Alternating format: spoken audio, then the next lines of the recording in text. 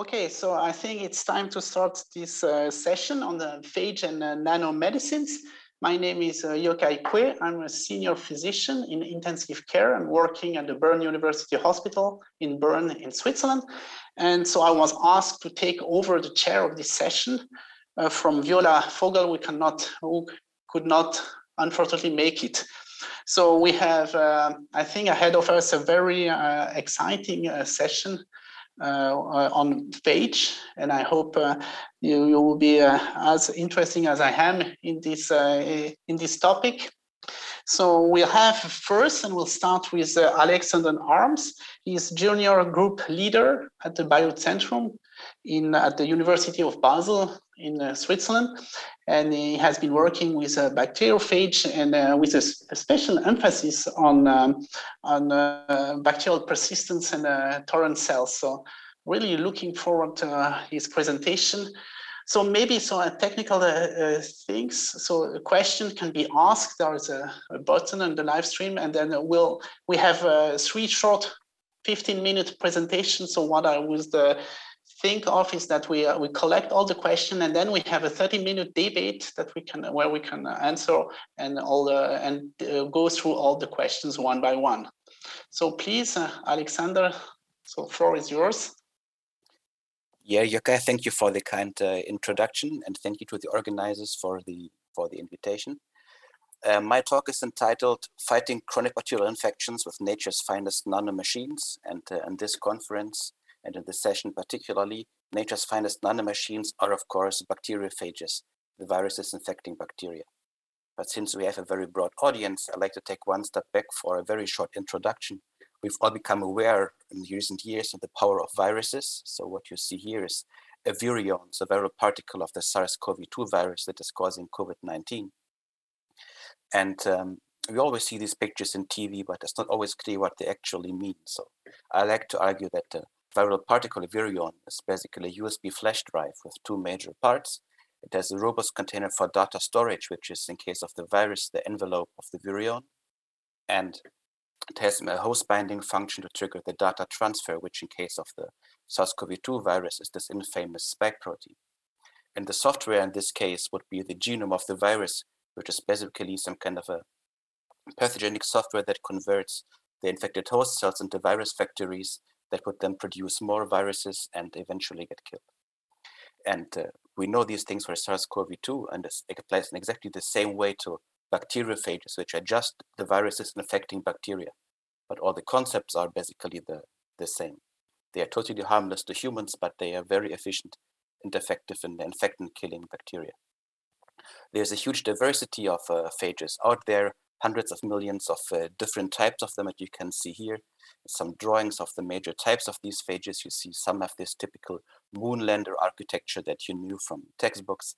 Others look a bit more like a SARS-CoV-2. So there's a huge diversity out there. And a very small number of these uh, viruses, bacteriophages, has been studied since um, the middle of the last century as uh, typical lab models. And um, they were used as model systems to unravel all the basic principles of life, how life works on the molecular level, and gave us a lot of tools also for molecular biology. So if you think of restriction enzymes, CRISPR-Cas9, or uh, CRE-LOXP that is used to make mutants in mice, or T7 RNA polymerase, this use of protein expression, these are all things that either come from phages or from host defenses against phages. And what my group is trying to do is we try to go one step further to look at the natural diversity of phages environment to maybe find other interesting tools and tricks for biotech or for clinical applications, but also just interesting insight for fundamental biology. And while typically researchers use standard lab conditions to look at bacteriophages, we look at more diverse conditions that might, for example, mimic clinically relevant uh, bacterial physiologies to see how this affects phage infection. Where do we get these viruses from? So we go sampling out in nature. That's a very romantic picture, but many of our phages actually come from sewage. Didn't put a picture of that here or we do many high school student projects that then help us sampling with uh, many hands. And then we grow these phages in the lab, isolate them, and then we sequence them, we analyze them phylogenetically, and then systematically phenotype them. And um, we don't just randomly isolate these phages and study them, but we look for phages that have very specific properties that could be useful for certain applications. For example, for therapeutic applications, which is relevant for, for today's presentation. And here we think of phage therapy, which is basically the use of phages to treat bacterial infections. And we're not clinicians, so there we will hear more from uh, for example, later. But the basic principle is very simple. You have a sick patient that has an infection, and then you give that patient phages that could kill the bacterium that is causing the infection, and then you would have a cured patient. That's in the ideal world. And of course, this is a topic of rising relevance because in the current crisis of antimicrobial treatment, bacteria have evolved all these different ways of uh, dodging the bullet of our classic antibiotic drugs. And this increasing resilience to antibiotic treatment is causing high morbidity, mortality, and also economic losses. So unless you have lived behind the moon, you have seen in recent years that the media are covering more and more of these phage therapy case studies. This is actually reflecting a real movement also in the field to apply this more, more broadly. We are working with chronic bacterial infections, which is a kind of very typical way, a very relevant way, but also very specific, and how phages could be used to, to treat those. I want to quickly go one little step back to first look at how antibiotics work before we look at why they might not work. So antibiotics are just pharmacological drugs. They have a target in the bacterial cell to which they bind. And then they do typically not inhibit that target, but they poison or corrupt it to unleash some kind of a dominant negative activity to kill the bacteria. And then bacteria can have antibiotic resistance, which are different ways of preventing the drug from reaching the target. Or they can be antibiotic tolerant, which is a number of mechanisms to prevent the poisoning from happening to kill the bacterial cell. And this typically involves some kind of a dormancy or a low energy physiology of the bacteria because then the targets that could be poisoned will be shut down. This is like if you're riding a bike, you think you're cycling very fast, somebody throws a stick into your wheel, you will crash very badly. Well, if you're moving slowly or not at all, not a lot will happen from that stick. And antibiotic tolerance is relevant because it's the way how these persister cells survive antibiotic treatment. So these are phenotypic variants of normal bacteria that are in a dormant state, shown here in red. And if you treat these with drugs, you see all the regular cells are dying. These persisters, they are surviving. And when you terminate the drug treatment, these persisters can wake up and replenish the population. This has been implicated in all kinds of chronic and relapsing infections, like uh, urinary tract infections, notorious for this. They can be caused typically by E. coli, or device-related infections that can be caused by Pseudomonas aeruginosa, which I'm highlighting because these are the two uh, major lab pets that we are studying in my group. So to show you some data on this, if we grow E. coli or Pseudomonas in happy cultures in rich medium, they are easily killed by antibiotics. I'm not showing you this here, unless they're resistant. But if we take dormant, non-growing, stationary phase cultures, the picture is very different. So here you see uh, bacterial cells, CFU per milliliters plotted over time. If we treat E. coli with the beta-lactam ampicillin, dormant cells, you see there is no killing observed over 48 hours. For the aminoglycoside tobramycin, there is also no killing over time observed. In ciprofloxacin, the fluoroquinolone kills around one log of the bacteria before it hits the wall of very deep dormant persister cells. And we see the same picture with Pseudomonas aeruginosa. The beta-lactam meropenem does not kill at all dormant cells, tobramycin has very little activity in this time frame, and ciprofloxacin can kill some of the cells, but also very far from um, clearing this infection. So what we wondered is this high antibiotic tolerance, does this also affect the application of bacteriophages for phage therapy? So we did the same experiments with bacteriophages, and what we see is no matter what kind of phages we take out of the fridge or out of nature, growing cultures, happy bacteria and rich medium, they're highly sensitive and they can get killed by the phages unless they are resistant.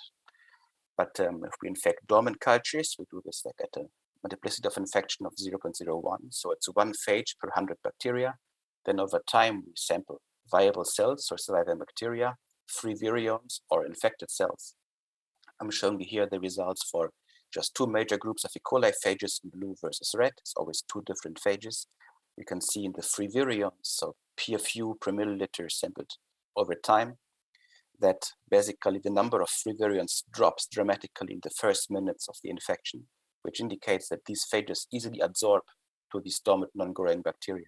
At the same time, you see the infected cells are rising dramatically in the same cultures, which indicates that the phages, they can inject their genome, so after which we will detect the cells as being infected. But you see there is no replication, so after this initial phase, the infected cells do not increase any further, and also the free virions do not increase at all. So there is no phage replication happening in these cultures. There is also no bacterial killing observed at all.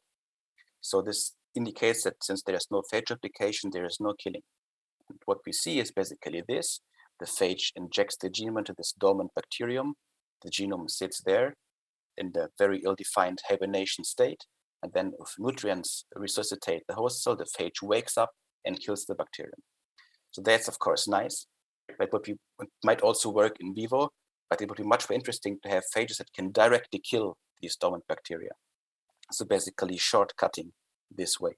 Because understanding this would not only enable us maybe to select phages that might be more effective in phage therapy or engineer them, but it might also, if we understand this, how this works on the molecular level, give us an inspiration to make better drugs against uh, this kind of infections. So the student working on this project, in the Maffei in my group, he was sampling many phages and worked with lots of natural samples, and he never found any phage that could replicate on dormant host cells. Until one day we took a sample from a pile of rotting plants behind the Hörnli Cemetery in Basel, where we found one phage that we call Paride.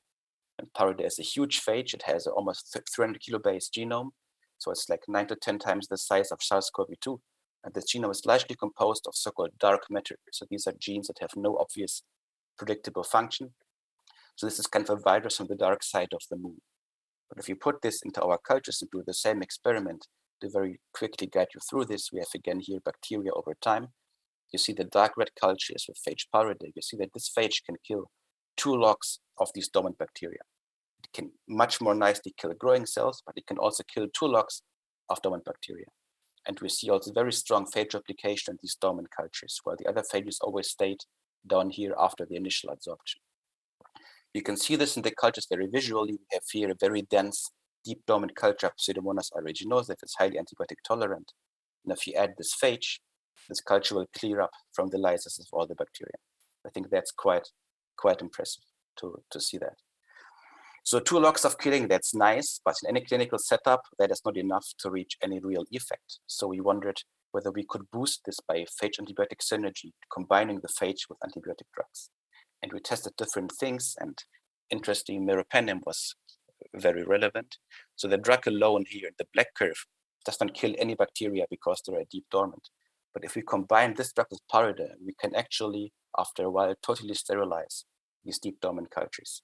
And I think that's very impressive. And I'm not aware of any other procedure short of autoclaving the culture that could achieve that. Of course, autoclaving is much faster, but you can't do that inside the patient. So what we are doing now is that uh, we are trying to explore which physiological barriers are these phages facing in dormant hosts that make them hibernate, and how does this work? We are studying uh, what Paride is doing and um, how it can overcome the resilience of these dormant bacteria on the molecular level, and what we can learn from these things to, for example, improve the treatment of chronic infections with phages or with drugs. And with this, I'm at the end. I'd like to thank my group who did uh, this research. Today, I showed only the work of uh, India Maffei, a very talented PhD student in my lab. I thank Phage Paride for joining our group in a very critical moment of our research, our funding and support, and our collaborators in Switzerland and abroad. And um, I would be ready to take questions later in this uh, discussion and debate session that we will have. So thanks a lot, Alexander, for this, this very uh, exciting and interesting presentation. For sure, is the tolerant and persistent cells a huge problem, and I'm sure there will be many questions. So please don't hesitate to uh, to uh, put your question in the chat, and then we'll so we'll collect them and we'll discuss them during our 30-minute session. So now it's time to move to the next speaker, uh, who is uh, Carl Merrill. Carl Merrill has has uh, is uh, long, has long been working in the phage field as a NIH uh, research associate, and now he's working uh, as a chief scientific officer and also in the director board of APT, a phage company that is uh, putting phage forward especially in the US, but I hope uh, maybe we can discuss this later. It will come to Europe. And so uh, we are very uh, exciting to hear your talk uh, that you will be talking about uh, artificial intelligence and whether this can help match have the matching between phage and bacteria. So Carl, you can share your presentation. Let's see. Um, yes. Well, thank you very much for the invitation. Um, the um, let's go right on to the first slides. the the problem is that um, you know when you look at the history of of our ability to treat infectious diseases, uh, it, it's not that long ago, 110 years or so from the time that Robert Koch first realized that uh, diseases were caused by bacteria till now when we were getting antibiotic resistance to the antibiotics that we've isolated and, and used all these years since then. Um, the, the problem is that um, the bacteria have had over a billion years, four billion years to develop defenses against the uh, whatever it is, whether it's the bacterial viruses or the antibiotics, because the antibiotics we don't invent in general, uh, they're made by funguses and and they've been around for quite a bit of time too. And so, uh, for instance, um, there's a um, the the British like to collect things. So one of the things they collected were feces from uh, soldiers during the the First World War, and they froze them. And they recently uh, thawed one who uh, from a person who died from they thought cholera, and they were able to do genomic sequencing, and sure enough, it was cholera. But he also had the beta lactamase genes in him, so he would have been he would have not been able to be treated by penicillin, uh, although penicillin wasn't introduced until the 1940s. So the point is, these antibiotic resistance and phase resistance uh, things are already out there. The reason that I decided that I wanted to try to use phage is that there's such a large number on the planet. There's approximately 10 to the 31. I didn't count them individually, but it's easy to do the calculation. Um, and you know you can isolate them from natural sources um, and we can make sure that they're only the lytic ones by by collecting plaque uh, uh, clear plaques we we test them to make sure that in a in an effective clinical screening procedure which has to be done fairly rapidly and we're still working on that uh, in conjunction with other groups like the mayo clinics etc uh, and their sequence because phage can kill people. In fact, they killed one third of the children in New England in 1850, 1735. It was called the, the Great Throat Distemper Epidemic. And in fact, we now know that was diphtheria because Corynebacteria diphtheria, the bacteria is totally innocent. It's only when it's infected with the, the beta phage, the phage carries the toxin gene. And um, and in fact, that toxin gene has mammalian promoters in front of it. And uh, Leticia Benincourt in Buenos Aires has found, found the same sort of thing in Shigella, in the Shiga toxin. Again, it's carried by a phage, and um, and and it can kill the animals just as well, either as the DNA or the phage without the bacteria at all. So it, that's why it's critical to sequence all of these. Now, the, the this is Huh, that's interesting. The um, this didn't show up this time, but anyway, the, the bottom line is that uh, the the antibiotics, you know, as we know, we're running into a problem because we're getting resistance. The fixed cocktails yesterday, when I gave my talk, I pointed out with uh, Tom Patterson, who was one of the first patients that was we used this collection of phage on um, there were 98 phage for the Acinetobacter baumannii he had, but only four of them worked. So, what are the chances that we would have put together a cocktail uh, that would have worked um, if we had limited it to a few of them? Um, and and but the personalized phase, you can always find phase that'll work, especially if you have a big enough library. Ah, there we go.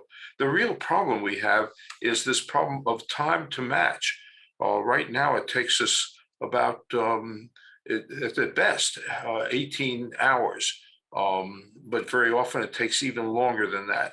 So the question is, could we do that quicker? And that's why I got interested in um, it's a turnaround time. And that's why I got interested in, in uh, how we're going to decrease the turnaround time. Um, and there, there, are two technologies that could help with that. One is genomic sequencing of both the phage and the bacterial genomes. And, and that can be done very quickly now. Uh, and in fact, some hospitals are already doing that to look for antibiotic sensitivity in the bacteria. Um, and then computer hardware is advancing, so that would help in this thing. Um, so there are three basic approaches that you can use for computers. One is by searching for genetic homologies. And there are a lot of papers out there already on that.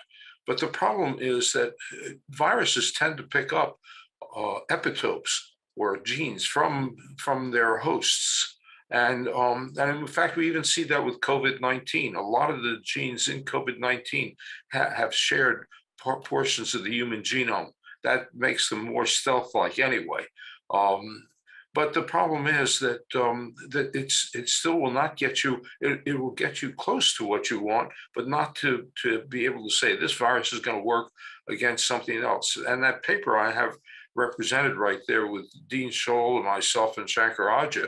Uh, that's an example of this kind of thing. You have a whole set of E. coli's K1 through 5, and and the big difference is the the the outer capsule, the polysaccharide, and there are different uh, E. coli phage, T1, 2, T2, et cetera, and they've evolved to attack those those polysaccharides. Um, so the question is that there's, there's no homology there. And, and so that technology would never get us to the point where we'd find which one would work. Um, the other one is to find correlations between the bacterial defenses and, and the phage uh, offensive mechanisms, but that that's going to take a long time. A recent paper in Science magazine in 2018 pointed out there are thousands of um, of defense systems that are yet undiscovered. In fact, a lot of what we call the dark genes in the phage are just for that kind of thing. And not only do they have to get into the bacteria, but they compete against each other too. And so the next question is, look, this is complicated. Can we just use artificial intelligence to and and and use the genomic sequences of the viruses and of the bacteria and and and go at it that way. Uh, so that that that that to me is really the only real hope we have. Although that's going to be difficult, and I realized something, and um, and that is that um, in the 1940s, John von Neumann and Alan Turing were developing the first real computers. And um, and and Turing said, you know what, uh, the computer is nothing but a calculating machine, and I can and I have code. If I made the code infinitely long, uh, then the the machine, if I kept running it forever, it would carry out all possible calculations in the universe. And he called that a universal computer. And in fact, that's now called a Turing machine.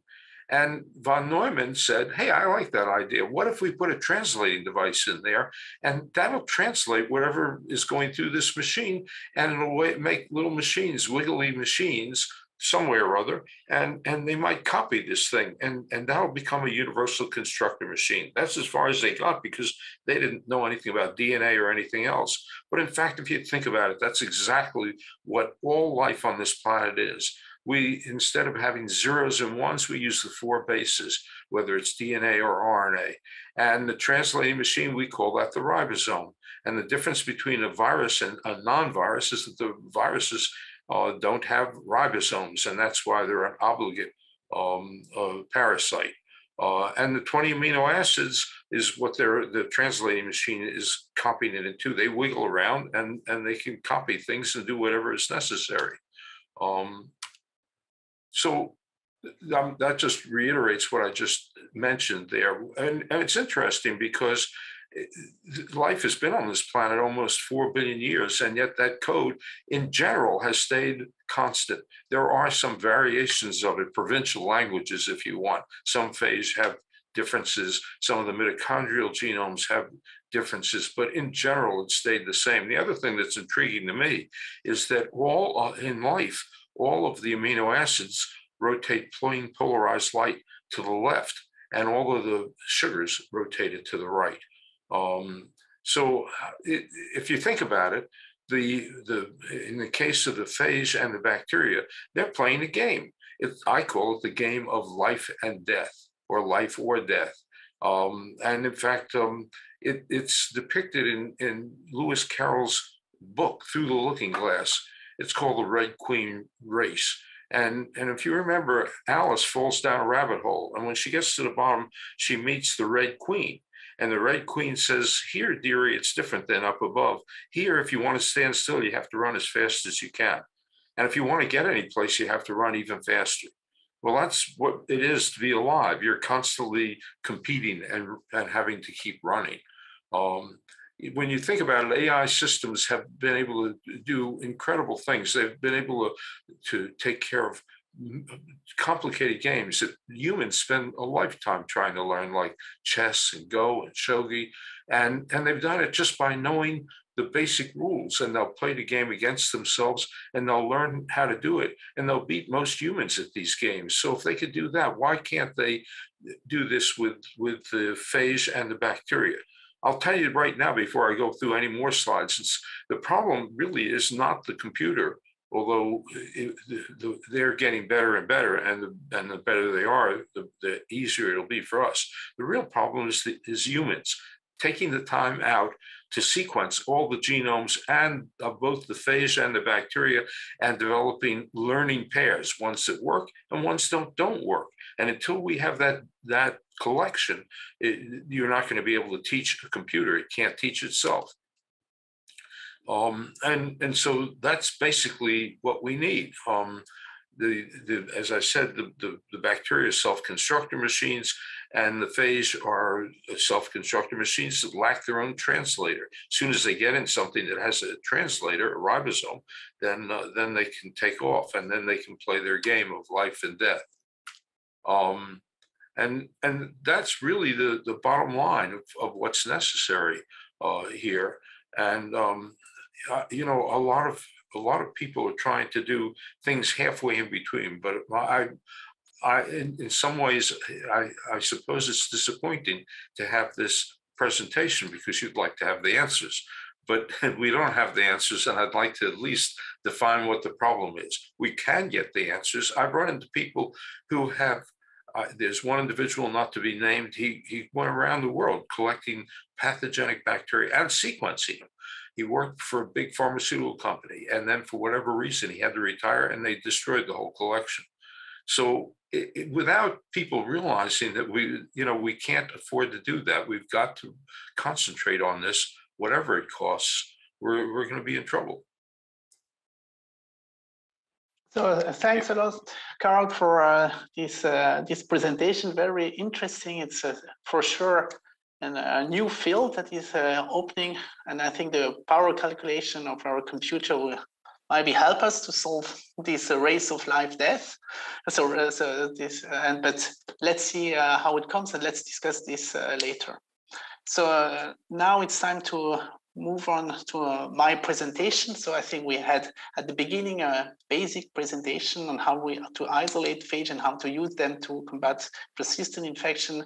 We have this industrial uh, um, point of view with you, your presentation, Carls, and what could be the future, how to develop a new new pathway and pipeline for phage therapy. And I will take the, the clinical point of view and, and see how phage can help our patient in the daily life. And is it possible, or are we hoping so too uh, too much?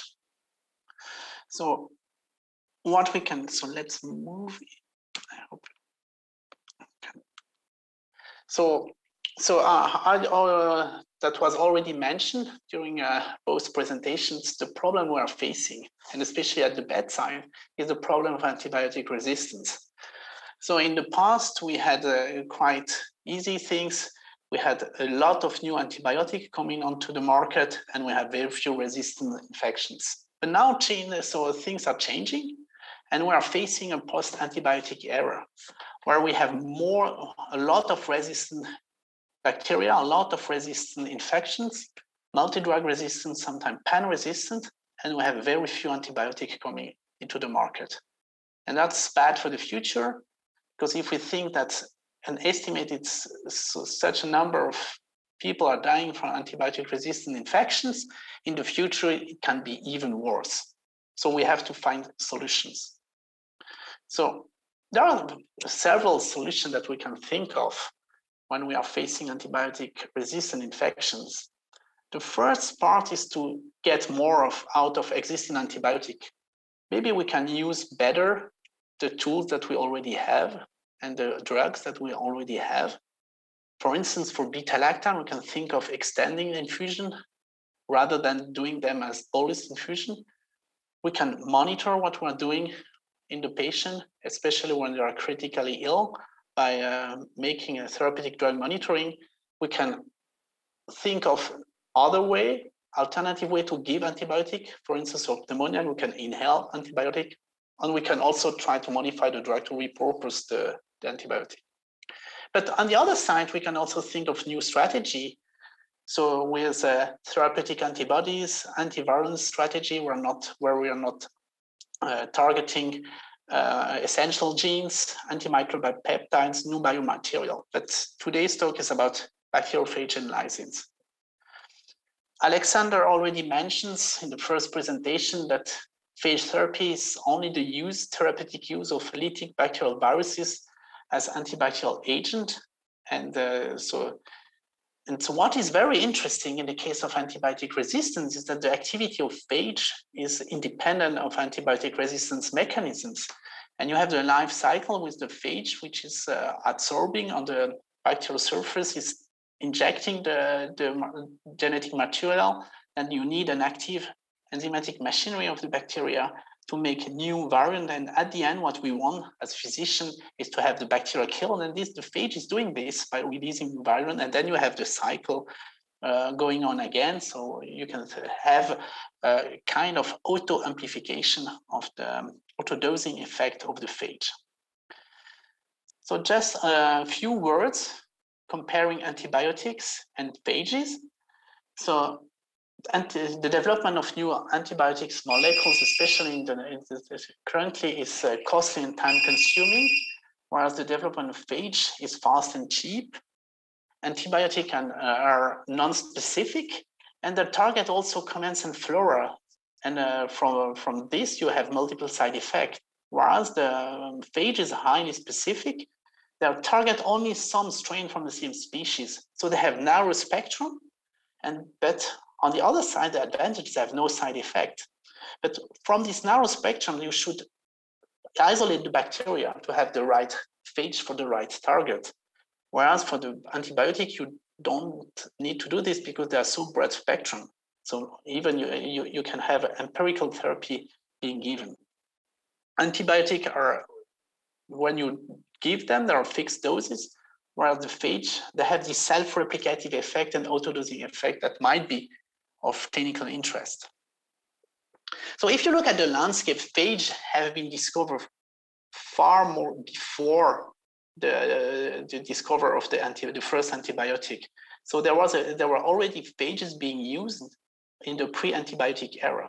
But then as the antibiotic were coming, so far the new antibiotic and new molecules were coming into the market, so phage disappeared because antibiotic were reliable at that time and there was no resistance. But now that resistance is growing and we are facing this mm, multi-drug resistant crisis, the interest on phage is rising. And so either we can have new molecules, but it will be time and it can be costly, to curb down this antibiotic resistance, or we can think about how to uh, use this phage, these bacterial viruses, to our, for our benefit. So there have been three randomized control trial, which is the gold standard to evaluate any therapy and coming to the market with a market authorization. But all three failed and so we have to discuss why this failed and why this uh, so why is that so such uh, what why what the the causes were the causes of, of this failure so Nestlé did the first randomized control trial assessing phage to um, to um, treat diarrhea that performed a study in bangladesh and there was some pitfall in the trial design so that targeted the patient had polybacterial infection And so they had to stop at 50% of inclusion, so it was underpowered. The, there, there, they had problem of product stability. It was uh, it was given peroral, and there, were, there was a problem with uh, gastric acidity. The quality was non-GMP products or good manufacturing product.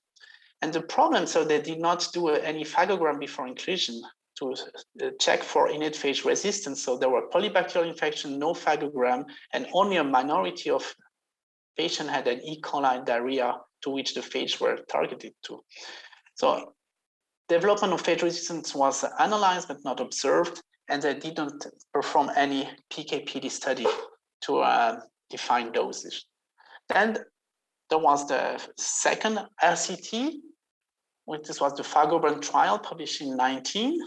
And the problem in the trial design was an insufficient sample size. Very few patients. I will discuss in detail this trial in the next slide.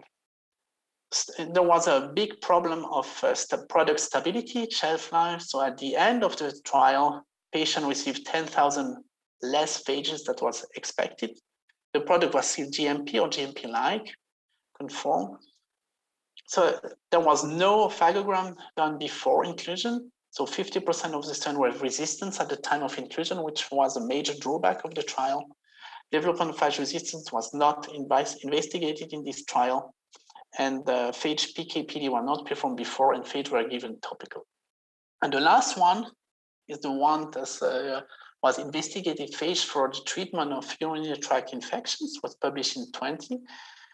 So the problem in the trial design is that the placebo was doing well and even better than either the antibody treatment group or the phage treatment group. So the questions so where the, the patient, uh, what is, was it the right patient population where the patient infected?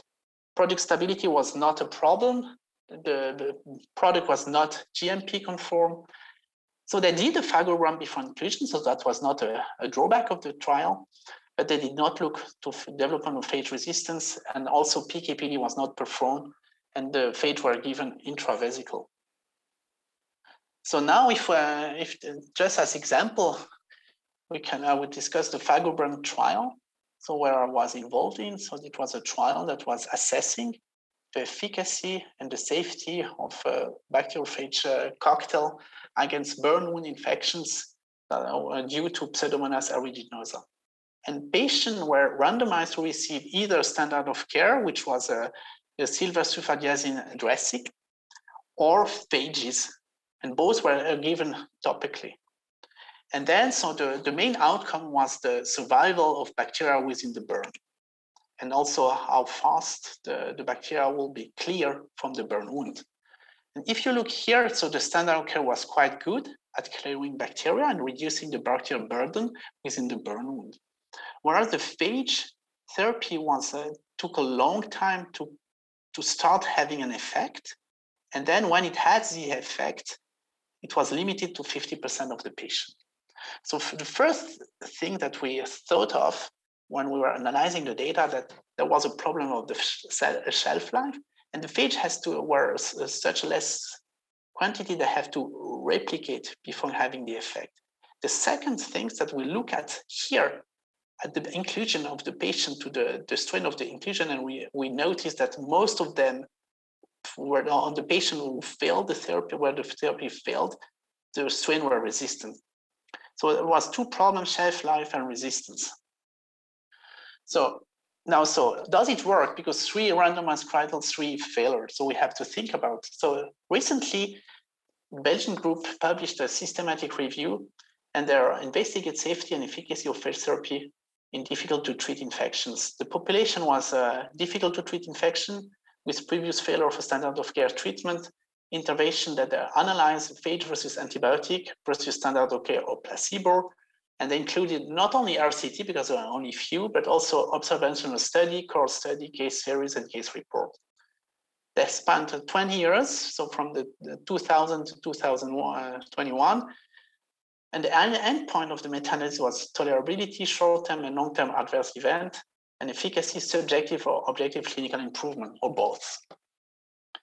So what are the conclusion of this? Um, so first, phage therapy is safe. Phage therapy is well tolerated and only few adverse events are reported, which is something good.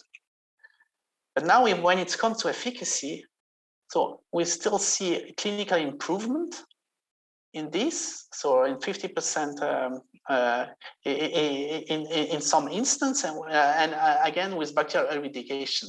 But there is a major drawback because there is a high heterogeneity between the study and there might be also publication bias because they included case series and case reports when we know that most of the case series and case reports are, have a positive publication bias.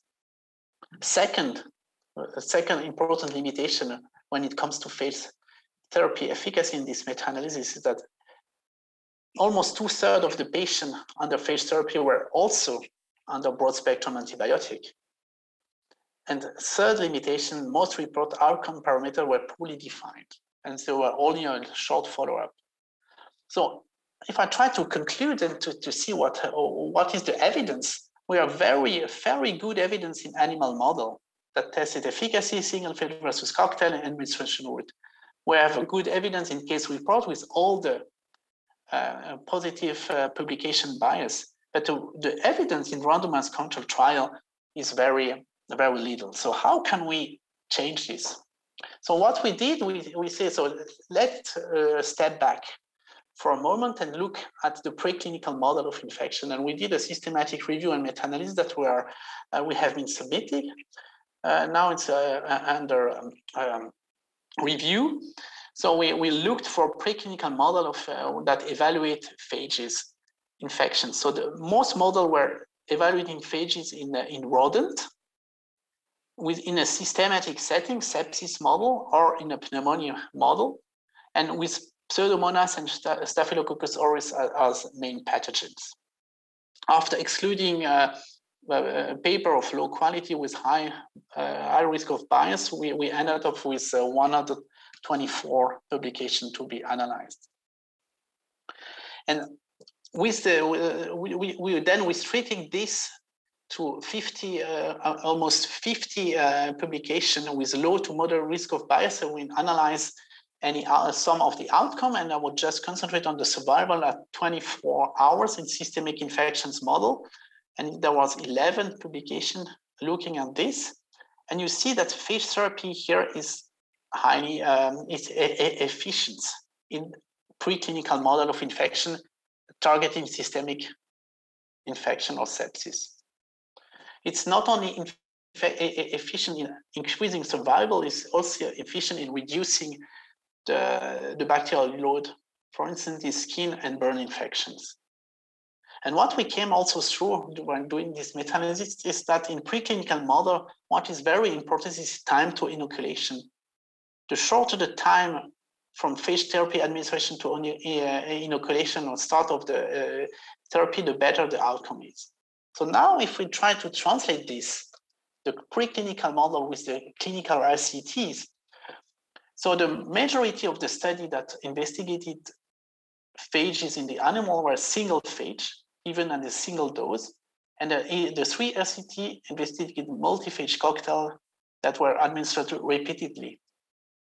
Second, the selection of phage for the treatment in preclinical study was uh, determined by, uh, rationally with phagogram to evaluate in vitro testing before therapy, and conventional or standard RCT evaluate therapeutic product established and validated by ethical committee prior to start of the trial. And last, most preclinical study targeted acute infection settings where time to treatment likely influenced phage efficacy.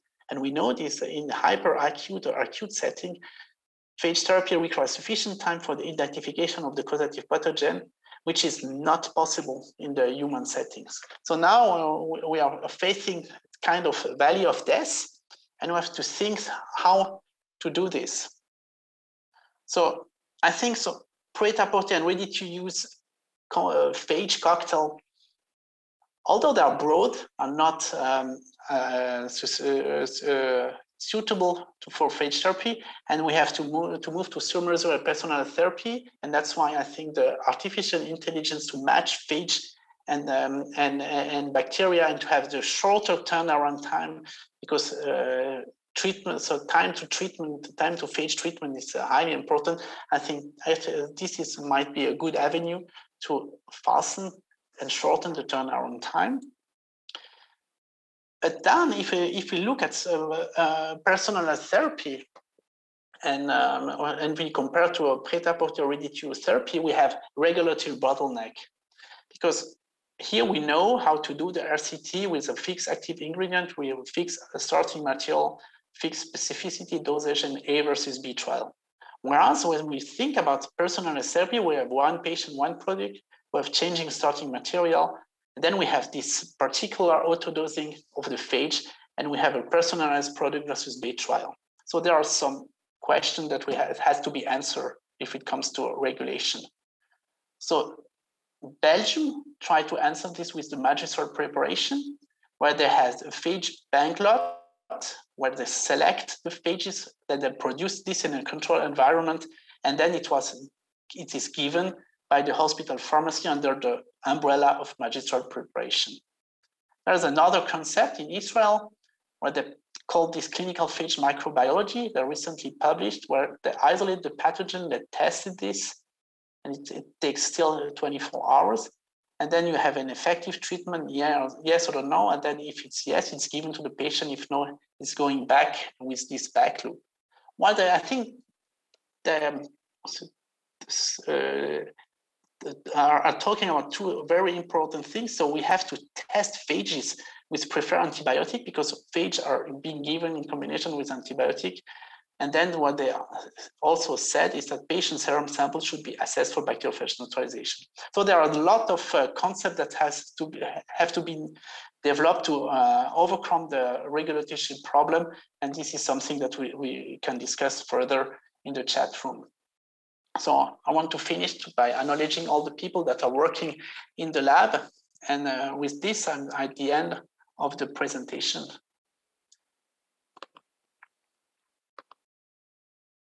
So I stopped the screen sharing. So now I think we, we should have received a link to move to the um, question room. And then so we, uh, we can uh, click on the link that we received in the chat, and then we'll be moved to the uh, questions or the chat room where we can discuss all the questions.